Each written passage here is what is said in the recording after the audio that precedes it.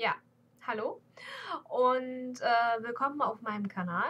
Das wird mein erstes Video sein und ich habe noch keine gemacht und das ist auch schon ähm, ziemlich lange eigentlich von mir eine Planung, dass ich das mal in Angriff nehme, mal ein Video zu drehen, aber bis jetzt bin ich nie so wirklich dazu gekommen.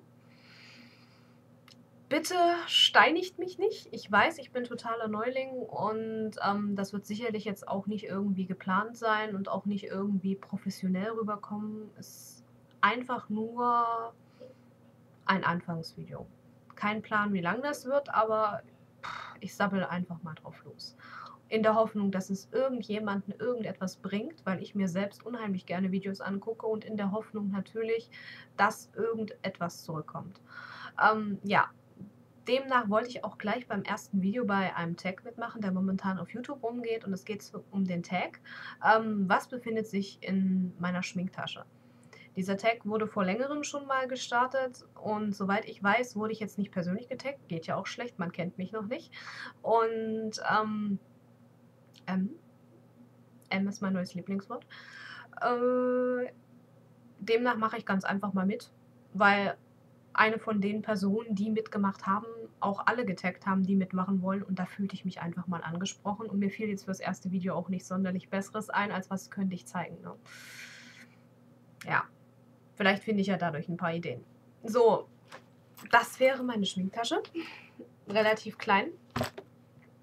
Vorweg muss ich sagen, in meiner Schminktasche befindet sich eigentlich immer genau das, was ich an dem Tag benutze oder mir vornehme zu benutzen oder benutzt habe und eigentlich nur so Dinge, die ich über den Tag verteilt eigentlich gebrauche. Also meistens eigentlich den Lippenstift, den ich trage und eigentlich den Lipgloss. Und das war's. Und ja, dann fangen wir gleich mal an. Na. So sieht das Innenleben aus. Relativ wenig. Also im Vergleich zu anderen größeren YouTubern hier ist das relativ wenig. Also das, was ich immer dabei habe, ist ein Kamm. Und eine Klammer für die Haare, weil auf meiner Arbeit ich normalerweise eigentlich zu Haar tragen muss.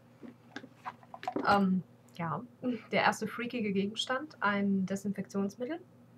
Brauche ich auch unbedingt. Nicht nur aus arbeitstechnischen Gründen, sondern wenn man viel unterwegs ist und so. Ähm, ja, man möchte sich ja ungern irgendwelche Krankheiten und Bakterien aufhalsen und deswegen habe ich so eine Manie des Händewaschens entwickelt und da ich nicht immer Wasser in der Nähe habe, kann man das natürlich von Sakrotan auch ohne Wasser verwenden.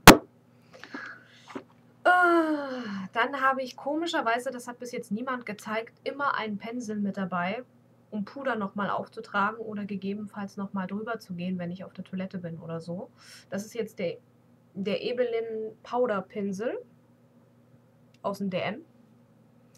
Ähm, der ist schön weich, gibt nicht relativ viel Widerstand. Ich finde ihn aber recht angenehm. Er lässt sich das gut mit dem das Puder auftragen und ich denke, auf YouTube wurde hier zu dem Pinsel eigentlich schon alles gesagt, was gesagt werden müsste.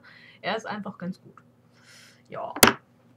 Und jetzt nur noch eine Sache, außer vielleicht hier vorne befinden sich dann nur noch Haargummi, ähm, Tigerbalm, weil ich vor relativ längerer Zeit erkältet gewesen bin und das schmiere ich mir dann immer um die Nase rum und dadurch kann man wieder relativ gut durchatmen, also so sehr gut, wenn man Erkältung hat, hilft eigentlich auch gegen Kopfschmerzen, riecht sehr stark und wenn man erkältet ist, ist das wirklich eine gute Sache.